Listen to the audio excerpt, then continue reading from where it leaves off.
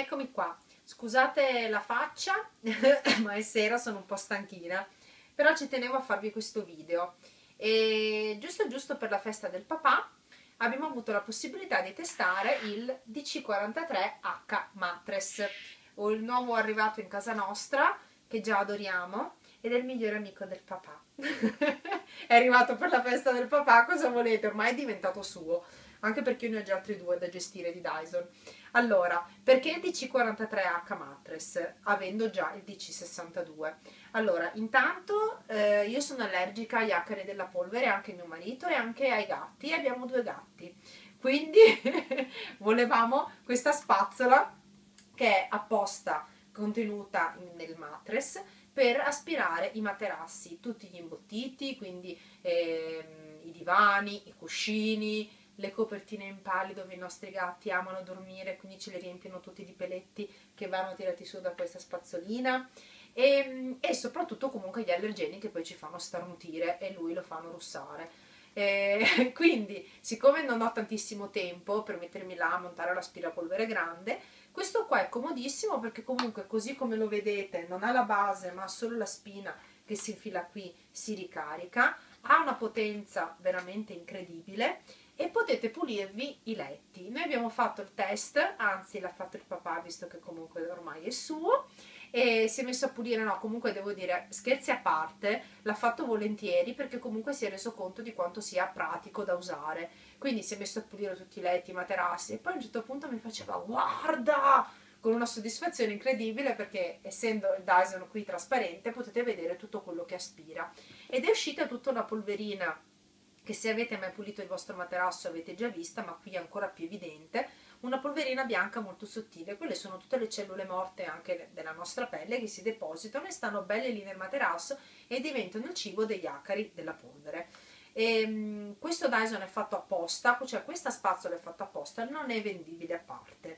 Una cosa che ci tengo a specificare è che ehm, voi vi starete chiedendo se è possibile applicare la scopa del DC62 a un aspirapolvere del genere. Non si può fare perché il tubo, cioè le scope, hanno un, un, particolare meccanismo all'interno per cui non si possono applicare ai portatili. Questo è il motivo per cui se voi acquistate un DC62, quindi un portatile senza filo ma con la scopa lunga, avete anche tutti gli accessori che poi ci sono in questi piccolini. Quindi la scopa è anche un portatile, ma il portatile non è una scopa, quindi non ce lo potrete mai applicare, non troverete mai il tubo da mettere, almeno per ora, poi non so se in un futuro lo faranno, ma per adesso non si può fare. Quindi questo è diverso dal DC62 non solo per la spazzola matres, quindi per i materassi. Abbiamo fatto la prova in macchina, quindi mi ho approfittato del, di mio marito e mi sono detto vai, vai, vai, vai pulisci un po' tutta la macchina.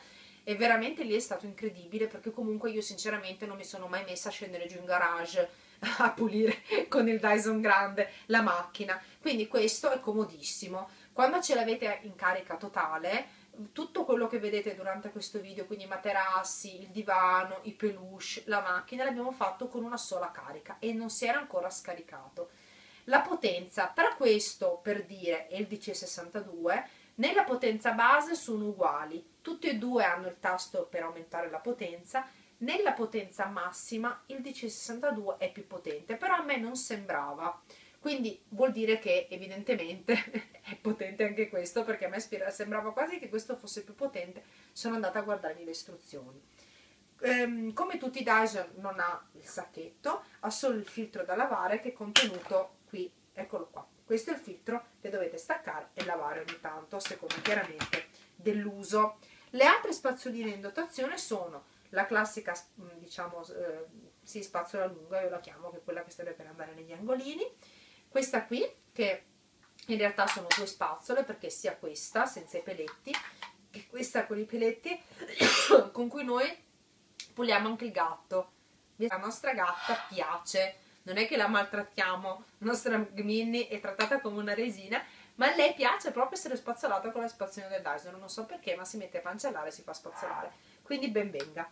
Un'altra spazzola che è la prima volta che ho è questa, che assomiglia un po' a quella del laptop che avevo fatto vedere nell'altro video, però chiaramente è dritta, quindi non ha la forma diciamo per pulire sopra le mensole o sopra i lampadari, però è morbidissima, quindi è comodissima per pulire in mezzo ai fili, il decoder di Sky, il, tutte la, eh, la Nintendo Wii, tutte quelle cose diciamo molto delicate che non possono essere aspirate con molta potenza, ma hanno questi, diciamo, questa, questa spazzola molto morbida che comunque aspira tutto e toglie la polvere. Eh, che vi posso dire? Io lo sapete che adoro Dyson e no, a parte, a parte diciamo la mia adorazione totale è questa spazzola che comunque fa la differenza perché veramente è comodissima. Quindi per chi come me ha poco tempo per magari dedicar, da dedicare alla casa alla pulizia di peluche mamma mia quant, quanta roba che è venuta fuori dai peluche io non credevo. E, ehm, questa spazzola è veramente il massimo. Detto tutto Dyson Forever. Ciao ciao